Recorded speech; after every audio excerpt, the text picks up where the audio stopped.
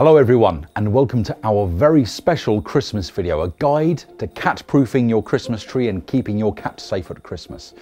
We wanted to have a bit of festive fun with this one, but please remember at all times there is a serious message behind it. So, let's begin. Tis the month before Christmas, and soon to appear will be tinsel and baubles and much festive cheer.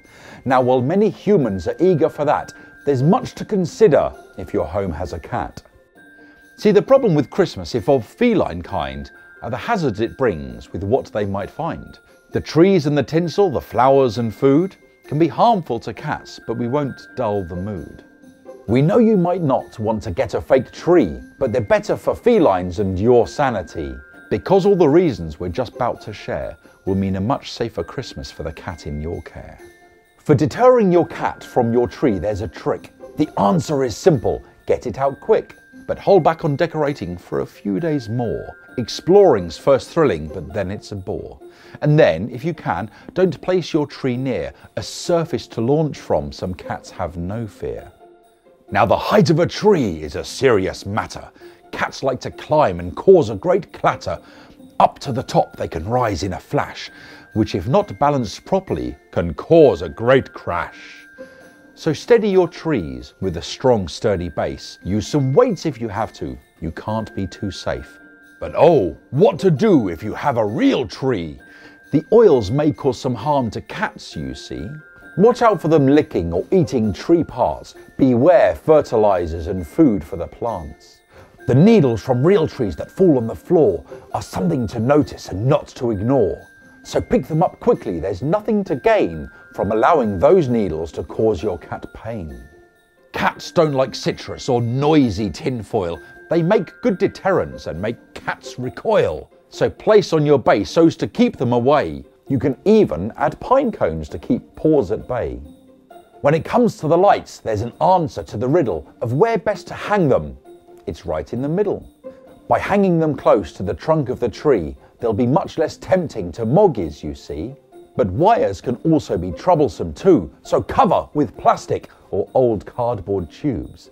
And do not forget, when leaving your home, to turn off the lights so they'll leave them alone. Now tinsel and baubles and candles and lights, mistletoe and ivy are tempting delights.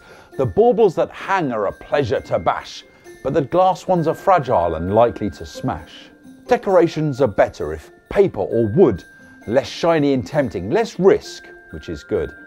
The best thing to do is decorate high, where mischievous paws can only but try.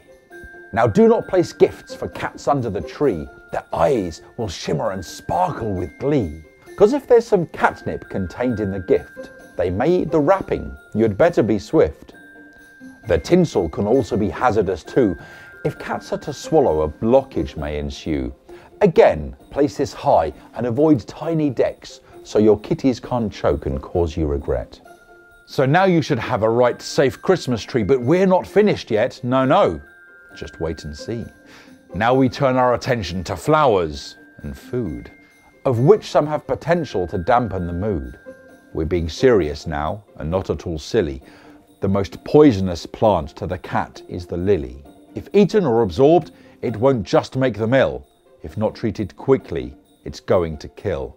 We're not even joking. If they're in a bouquet, best advice we can give you is keep them away.